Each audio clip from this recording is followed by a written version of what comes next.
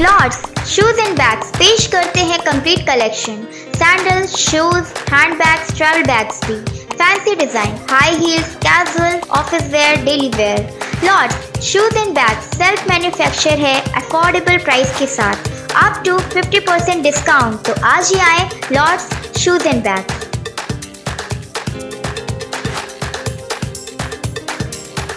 Gandhi ji के सम्मान में राष्ट्रवादी मैदान में गांधी जी के सम्मान में राष्ट्रवादी मैदान में गांधी जी हम शर्मिंदा है मेरे कातिल ज़िंदा है गांधी जी हम शर्मिंदा है मेरे कातिल ज़िंदा है मुमरा में आज फ़िल्म अभिनेत्री कंगना रनौत के खिलाफ एनसीपी पार्टी की तमाम महिला कार्यकर्ताओं ने विरोध प्रदर्शन किया है।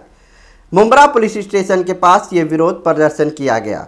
इस विरोध प्रदर्शन के दौरान कंगना रनौत के पोस्टर पर कालिक लगाया गया। आपको बता दें कि पिछले दिनों फ़िल्म अभिनेत्री कंगना रनौत ने आज़ादी को लेकर एक बयान दिया था।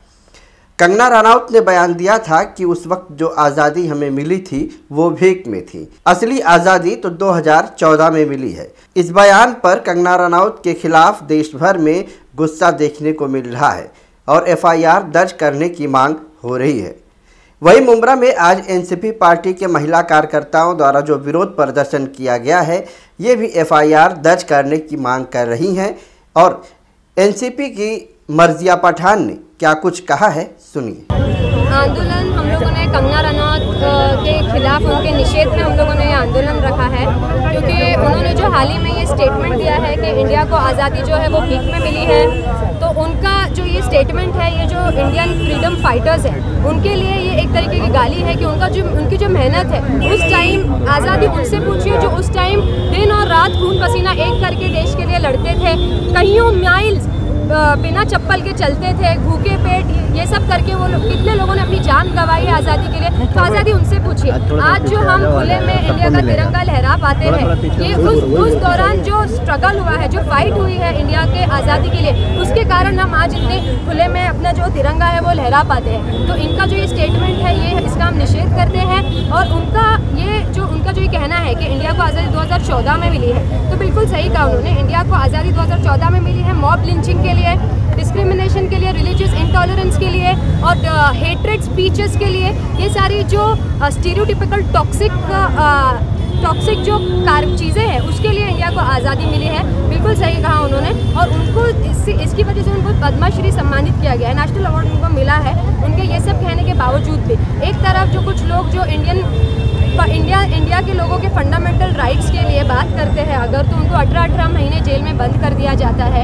उनको टेररिस्ट के कलम लगाए लगा दिए जाते हैं। उनको कहा जाता है कि वो टेररिस्ट हैं, वो इंडिया के लिए थ्रेट है। और एक तरफ़ ये महिला जो है, कभी स्टेट के चीफ मिनिस्टर के बारे में बकवास करती हैं, कभी ये हिस्ट्री के बारे में बकवास करती है, कभी ये फादर ऑफ़ द नेशन के बारे में इतनी बुरी बातें करती है। तो और इनको जो है वाई प्लस सिक्योरिटी दी जाती है। इनको वाई प्लस सिक्योरिटी से दिया गया है, इनको पद्मश्री से सम्मानित किया गया है। तो और ये जो हम लोगों ने नारे लगाए हैं। गांधी जी, हम शर्मिंदा है, आपके कातिल अब भी ज़िंदा है। तो गांधी जी के जो कातिल है, वो तो मर गए बहुत सालों पहले।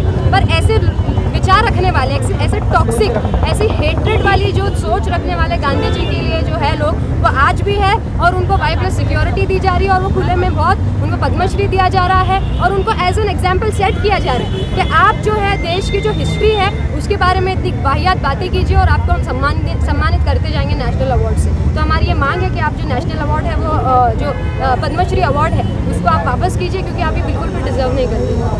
असलकुम सबसे पहले तो मैं ये हमारी सरकार से कहना चाहूँगी कि ऐसे कंगना रनावत ने भारत के लिए क्या योगदान दिया जो तो आपने इतना बड़ा पुरस्कार उनको दिया है जो पद्मश्री का?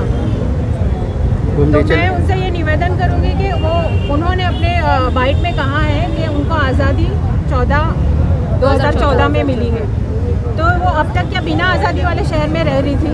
कि उनको कोई फैसिलिटी मिली नहीं है?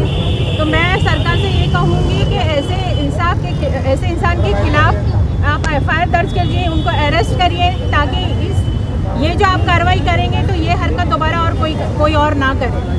क्योंकि इस दौर में अगर ऐसा कोई करता है तो हम बार बार ऐसे प्रोटेस्ट करेंगे और बार बार ये सरकार को जताएँगे कि ऐसी ये जो वाहियात बातें हैं, वो मीडिया के सामने ना करें, क्योंकि ये हमारे गांधी और हमारे संविधान के खिलाफ बात की गई है। तो हम हर बार आवाज़ उठाएँगे और ये राष्ट्रवादी हर इस चीज़ में आगे रहेंगे।